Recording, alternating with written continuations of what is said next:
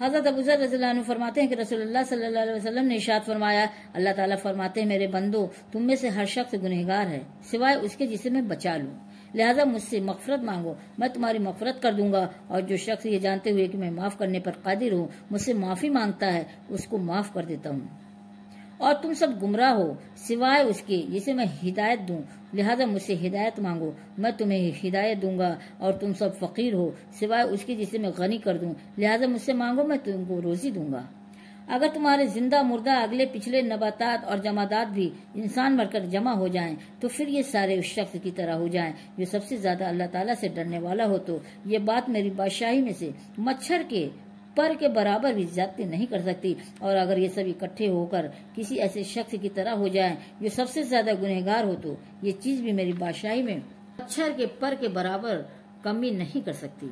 अगर तुम्हारे ज़िंदा मुर्दा अगले अगले पिछले नबातात और जमादात भी इंसान बनकर जमा हो जाएँ और उनमें से हर एक मांगने वाला अपनी ख्वाहिशात को आखिरी हद तक मांग ले तो मेरे खजानों में इतनी भी कमी नहीं आएगी।